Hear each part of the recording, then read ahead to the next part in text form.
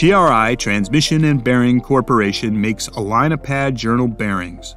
These bearings are machined and assembled with tight tolerances. To achieve the proper dimensions, TRI has a tooling package that provides a reliable method of cutting the pads and measuring the assembled radial clearances. The package comes with two kits. The pad machining kit has tools to cut the babbitt surface of the tilt pads. The kit includes a pad support fixture and the boring tool for a horizontal mill. The tool is a single point turning tool at the end of an extended bar held in a boring head. Because the pad is a partial arc, the bore diameter cannot be easily measured. The Babbitt rod support fixture is used to set the cutting tool to the proper machine diameter, or DM. The fixture holds two Babbitt rods that are cut with the boring tool and can be measured with inside micrometers. The diameter of the boring tool is adjusted at the boring head until the proper DM is validated between the Babbitt rods. When the tool is set properly, the tilt pad can be cut. The kit also includes a pad thickness indicator gauge, which measures the pad thickness while it's still mounted to the pad support fixture. To use the thickness gauge, select a set of gauge blocks that equals the desired tilt pad thickness, or T1. Hold the gauge blocks in the tool between the anvil and the dial indicator and set the indicator to zero. With the indicator set, use the thickness gauge on the tilt pad while it's still mounted to the pad support fixture. The indicator reads 0 when the T1 pad thickness equals the stack up of gauge blocks.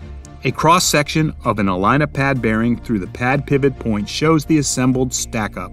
Moving from the center outwards, there's a tilt pad, a pad support disc, and a pad support disc shim. The tilt pad has a spherically ground surface that sits in the pocket of the pad support disc. The pad support disc sits in the pocket of the bearing housing, and the radial position of the pad support disc is determined by the pad support disc shim. The distance from the center of the bearing housing to where the tilt pad rocks on the pad support disc is the RP. The second kit measures the RP, which is used to calculate the assembled radial clearance, or CRA. The major components of the pad setting kit are the plate, the center post, and the indicator bar. The bearing and the center post mount to the plate. The indicator bar has a stop ring and a boss that rotates freely around the center post. After assembling the fixture, use the adjusting screws in the indicator bar to center the post in the bearing housing. When the post is centered, the distance from the post to the pad support disc can be measured with inside micrometers. The RP is the measured distance plus the radius of the center post. The assembled radial clearance is calculated knowing the RP, the T1 pad thickness, and the radius of the journal. To calculate the assembled radial clearance, subtract the T1 pad thickness and the journal radius from the RP. The tooling package by TRI Transmission and Bearing is available for our bearing customers. Different packages are available depending on the size of the bearing, and metric tools are an option.